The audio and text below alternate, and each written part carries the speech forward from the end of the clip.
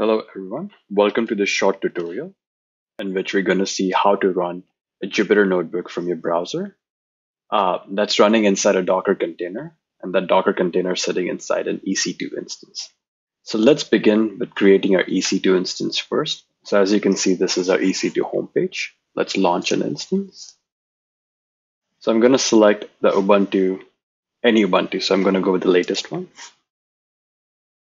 I'm going to go with the free tier eligible T2 micro, review and launch. And the only change we're going to make here is with the security groups. This is just for the tutorial. So we're going to do all traffic and then from anywhere. So you want to make this more specific when you're launching it for your own stuff, but for tutorial or for your own personal work, I think this should be okay. Then we're going to hit review and launch. Now everything is fine. We're going to say launch. And a good thing is always create a new pair or a pair that you have on your computer and then save that pair. So I have this saved, right? So if you hit on a new pair, so okay, so let's create a new pair. So hit new pair, then create sample video one, and then let's download this pair and let's save this pair if you want to SSH from a, using a terminal, but we are not going to do that in this video. Make sure you save this file. So let's launch our instance. This is going to take a few seconds to launch. So we're going to wait here until this launches. So I'm going to click on this. Okay, the instance is launched. Now let's, so you have the PEM file, right? So normally you would launch from your terminal, but now the EC2 or Amazon AWS General gives you this browser SSH. So let's connect to this. Let's connect. And we have a terminal instance of the browser, right? Of our instance. So now the first thing I'm, so there are many ways to run a Jupyter notebook. So the easiest way is running inside a Docker container. So let's install Docker, right? And there are many ways to install Docker. The easiest way I find is to run the shell script. So first I'm going to get that shell script. So I'm going to do curl f s capital S capital L and then that URL. Okay.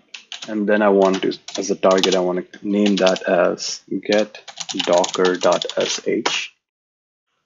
So as you can see, I have that file right here. Not, now I'm going to execute that file. So get docker yeah, this is going to take a while, so we're just going to wait until it installs Docker.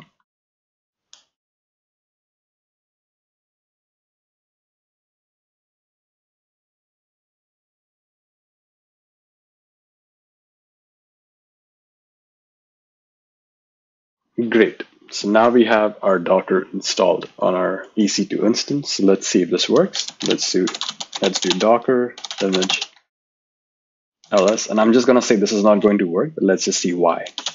So it says got permission denied, right? So let's do a sudo docker image ls.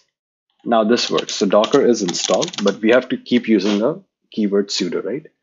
This is because we haven't added Docker to a sudoers for that user. So we're just going to do that now. So you can say sudo group add and groups name is docker. It says docker already exists. Great. Now I'm just going to do another command sudo user mod a capital G and then docker to current users.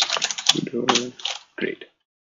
And now let's see if our commands work. So, and I'm going to say again, this is not going to work now. We have to exit and then log back in. So we're just going to see type exit and then we're going to reconnect. Just gonna wait for it to reconnect. Now let's see, Docker image ls. Great, so now it's working. Now let's create a directory called sample. Now let's cd into sample. And we're gonna make a Docker file. So just vim Docker file. And I'm gonna build this file from the Jupyter notebook Docker image.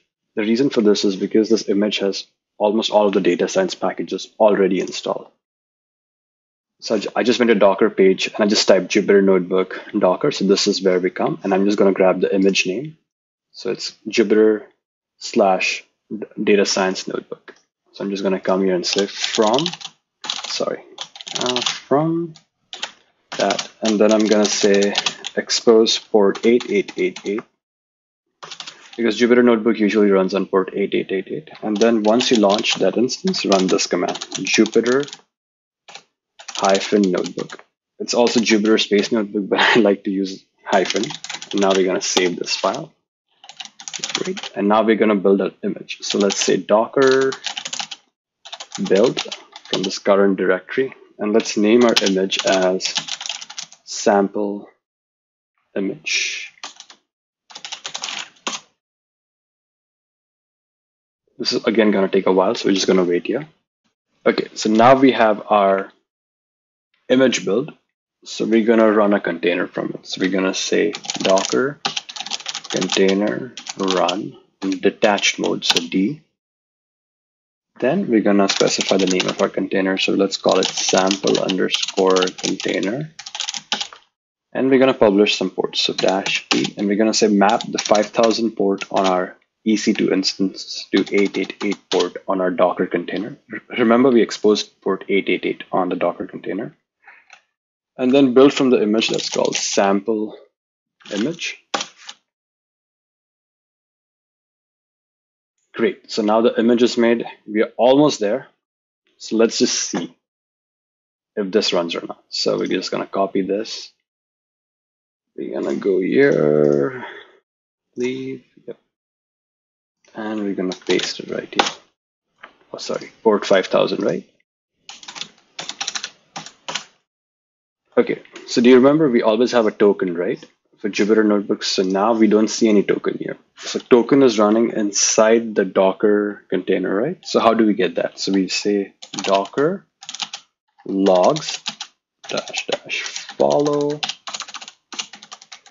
and then the name of our container. So it's sample container. So we get all the logs from our container. So this is the token. So we just copy from right here. Either you can enter the token or you can just modify the URL. So I'm just going to modify the URL. And right there you go. Let's just try out a few things in our Jupyter notebook. So we're just going to say import pandas as pd import numpy as numpy np and let's just run something. So numpy dot a gives us what? Okay so let's use numpy dot absolute of this. Perfect so as you can see we we have this running right so you saw how easy it is like just using one docker file you can get all the data science packages and you can access them from the browser I hope this was easy to follow enough, and any feedback would be appreciated. Thank you.